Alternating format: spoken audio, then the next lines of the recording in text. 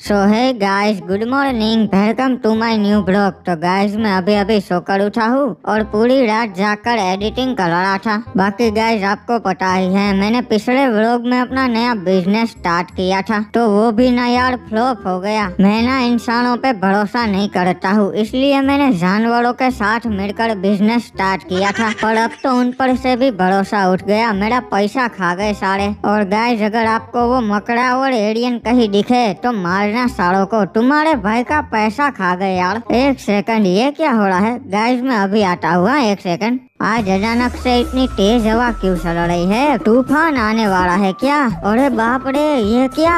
लगता है एलियन ने हमारे क्लॉक टावर पर हमला कर दिया। पर यार ये स्पेसशिप तो मैंने कहीं देखी हुई लगती है। पापा चलो आज मैं आपको अपनी बाबू से मिलवाने ले चलता हूँ। हाँ ओए बेटे कौन है वो खुश नसीब क्या रे भाई लोग स्वागत नहीं करोगे हमारा? अरे भीड़ू तू आ गया।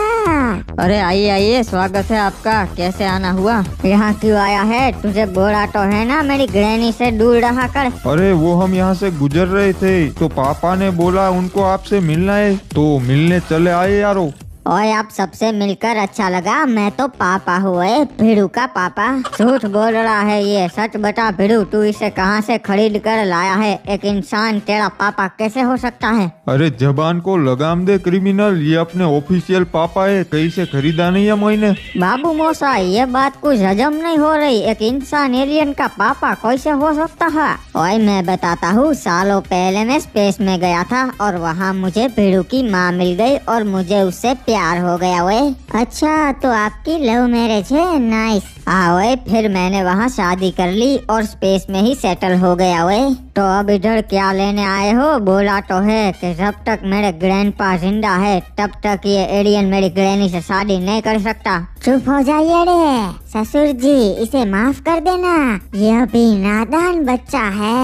ओए, क्या बात है? मेरी बहू तो बहुत संस्कारी है। चल बिड़ू अब बिमल खाने चलते हैं। ओए क्या बोली तू? बीमल खाती है? हाँ पापा मैं आपको बताना भूल गया। मेरी जान बहुत बीमल खाती है। नहीं ओए हमारी बिरादरी में नाक कट जाएगी। ये रिश्ता हमें मंजूर नहीं है। इससे शादी का सपना छोड़ दे ओए।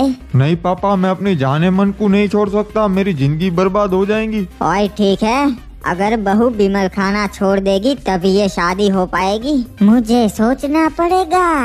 ओए, तुम्हारे पास दो ही रास्ते हैं, या तो मेरा बच्चा या बिमल, दोनों में से एक ही चुनना पड़ेगा वे ससुर जी, रजनीगंधा खा सकती हूँ क्या? मुँह में रजनीगंधा, कदमों में दुनिया। ओए तो फिर ठीक है रिश्ता मंजूर है? चलो यारो अब हम चलते हैं बाद में मिलेंगे जब ग्रैंडपा टपक लेगा। और ये लो हम आपके लिए तोहफा लाए हैं। और ये पर लाया हूँ मेरी बहू के लिए ताकि वो पापा की परी बन जाए ओए। हाँ यारो और ये है मेरे दादाजी की तस्वीर। इसे अपने घर में रखना बहुत शुभ है। अब ये मुझसे बर्दाश्त नहीं हो रहा इन सबको मार डालूँगा इन्हें यही रोक के रखना। इसे छोड़िए खाना रेडी हो चुका है खाना खा के जाइएगा। नहीं ओए बाद में अभी मेरी मून पे मीटिंग है। ठीक है अगली बार खाना खा के ज़रूर जाना। वैसे पापा कैसी लगी आपकी बहू? ओए बेटा बहुत सुशील और संस्कारी है पर अगर बीमल छोड़ देगी तो ज़्यादा अच्छा रहेगा ओए।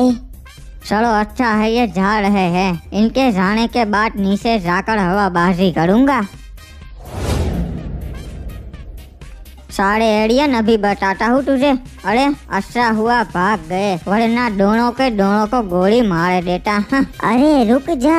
अभी बुलाती हूँ उन्हें। दूर नहीं गए होगे। अरे नहीं नहीं उनकी किस्मत में आज जीना लिखा होगा। छोड़ो वैसे सासा आज आप फ्री हो क्या? हाँ फ्री ही हूँ बताना क्या हो गया? चलो ना आज हम फैमिली मेंबर्स हाइड एंड खेलते हैं मज़ा आ जाएगा। मैं फ्री नहीं हूँ मैं नहीं आऊँगा। और मैं भी नहीं आऊँगा होमवर्क करना है। गाइस तो अभी हम फैमिली मेंबर्स जाने वाले हैं हाइड एंड खेलने पर इस बार क्लॉक टावर पे नहीं। पूरे सिटी में खेलेंगे और पापा और छोटू नहीं आने वाले क्योंकि उनको होमवर्क करना है। बाकी वीडियो को लाइक कर देना और चैनल को भी सब्सक्राइब कर लेना। आप करते नहीं हो यार। बाकी अब सब आ गए हैं तो चलो हाइड एंड सीख खेलने सड़ते हैं। चलो, सब लोग रेडी हो ना? आज तो मैं ही ढूँढने आऊँगा। ठीक है, बाबू मोसाई, हम सब लोग छुप जाते हैं। मैं कहाँ जाऊँ? एक काम करती हूँ, पानी में चली जाती हूँ। ये सब तो नल्ले है साले, मुझे अब घर जाके खाना भी बनाना है। इन सब भूखे सांड के लिए। चलो, दस की गिनती पे आऊँगा। एक, दो, तीन, दस। एक काम करता हूँ जंगलों में चला जाता हूँ। क्रिमिनल यहाँ पर नहीं आएगा क्योंकि वो जंगली जानवरों से बहुत डरता है। अरे गलती से पेड़ पर चढ़ गया अब नीचे कैसे उतरूं? ये तो बहुत मुश्किल है। अब ये पेड़ पे चढ़ना मेरे बस की बात नहीं रही। ताऊ जी आप कहीं भी छुप जाओ आपकी टोंड साफ़ साफ़ दिखती है। चलो आप पकड़े गए हो नीचे आ जाओ। ओ सेठ पकड़ा गया। बेटा अभी आता हूँ नीचे।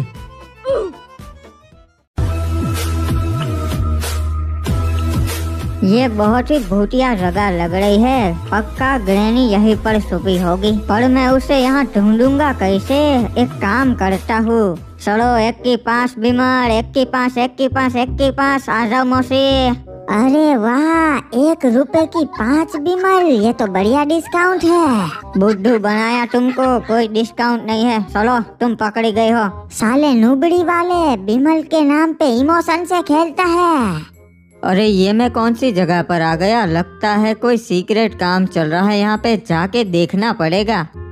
भैया जी, इसका क्या करना है? रे फेंक दो इसे पानी में। अरे डाकू चाचा आप यहाँ पर? रे आडम तू यहाँ पर कैसे आया भाई? अरे कुछ नहीं हम सब हाइड एंड सीख खेल रहे थे तो मैं यहाँ पर जंगलों में छुपने आया तभी आप यहाँ मिल गए। रे एक ही तो जगह बची थी सीक्रेट वो भी अब सीक्रेट ना रही। अच्छा सीक्रेट है मतलब क्रिमिनल मुझे यहाँ पर कभी नहीं ढूंढ पाएगा। रे ना भाई तू यहाँ ना छुप सकता। हेलो क्रिमिनल आडम यहाँ छुपा से भाई ले जा इसे।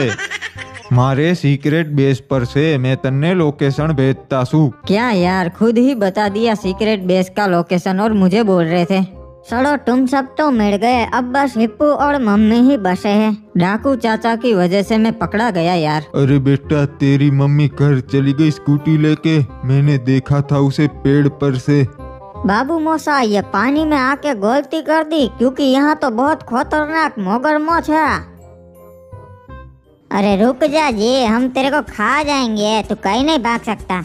अब एक ही रास्ता है मेरे पास, इन पे गोला छोड़ना पड़ेगा।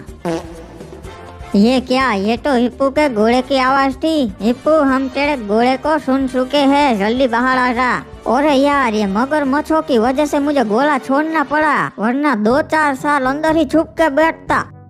अरे ये कौन आ रहा है सड़के हड्डी पसड़ी? अरे हमका प्यार से स्केलेटोन भाई बोलते हैं। अरे ठीक से खाना बना खाया कर तेरी हड्डियाँ दिख रही है और जिम भी जाया कर। नुबड़ी वाले झोंक मारता है तू जानता नहीं मैं किसका आदमी हो। अबे ये रे बताना क्या काम है? टाइम वेस्ट मत कर। हमका ग्रैंड पा ने भेजा है हम उनका संदेश लेकर आए हैं। अरे तो वो क्या चाहते हैं? उन्होंने कहा है कि अगर क्लॉक टावर के 10-12 किलोमीटर में भी कोई भी स्पेसशिप दिखे तो ग्रैंडपा भिड़ू के प्लेनेट पर हमला कर देंगे अपनी फाज लेकर। देखा, मैंने कहा था ना, भिड़ू को घर में घुसने ही नहीं देना चाहिए, ये सब उसकी वजह से हुआ है। वैसे कोई बात नहीं, मैं तो बोलता हूँ, कर दो वहाँ पर हमला। उस प्लेनेट पर हमला करने के बाद वो सीधा क्लॉक टावर पे आएँगे, हमला करने। गैस तो हम फाइनली घर आ चुके हैं और आज ग्रैंड पा ने धमकी दी है। क्या कर सकते हैं? और मेरी एडिटिंग भी कंप्लीट हो चुकी है तो मेरे को इनका लाइक सब्सक्राइब शेयर करो बाय